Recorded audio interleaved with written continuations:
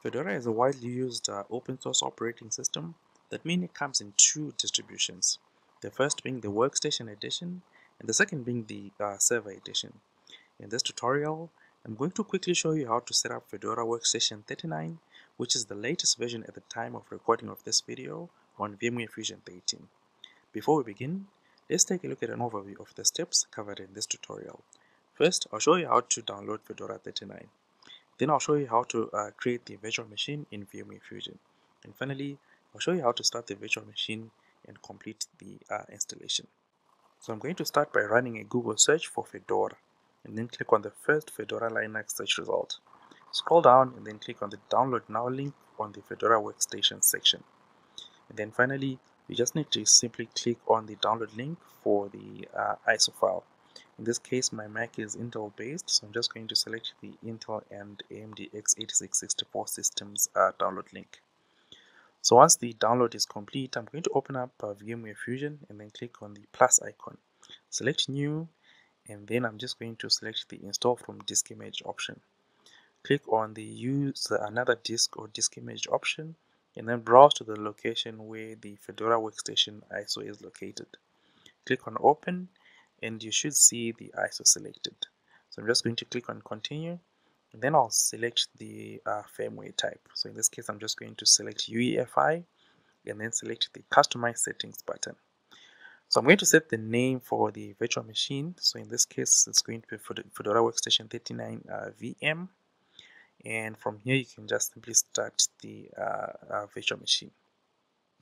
So click on the start icon and you should see a, a prompt for selecting the uh, uh, uh Fedora workstation uh, boot mode. So I've, I've selected the live uh, option which then allows you to actually start the installation.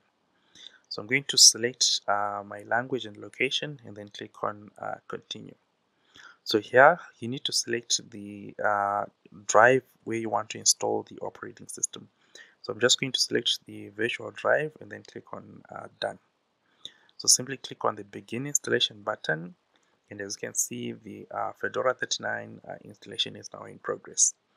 So this can take a bit of some time depending on the performance of the host computer as well as the hardware uh, provision to the virtual machine. So I'm just going to wait for the process to complete and once it's done we're going to restart the uh, virtual machine and then complete the post installation setup.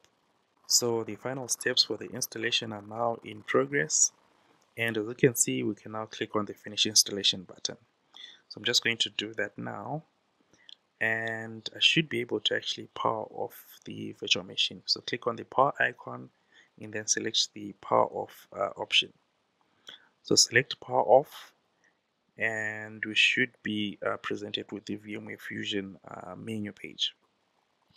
So I'm going to uh, change some settings on the virtual machine. So right click on the virtual machine and click on settings. Select CD DVD and then I'm just going to set that to auto detect. So basically I'm just removing the Fedora ISO image file. So once that's done, I'm then going to power up the virtual machine again and we should be able to complete a few steps that are required. So I'm just going to click on start setup and then click on next on the privacy section. So I'm just going to choose not to enable the third-party repositories and then I'll just click on the skip section for the connect your online accounts. Of course, you can do this if you'd like. I'm going to specify my username and password and once that's done, you can click on next and you should see an all done message. So just click start using Fedora and I'll choose not to take the tour. So that's been it guys, that's a quick look at uh, how to set up Fedora Workstation 39 on VMware Fusion 13. Please consider to like and subscribe to the channel and please also share this video with your peers, colleagues and friends. I hope this tutorial has been informative and I'd like to thank you for viewing.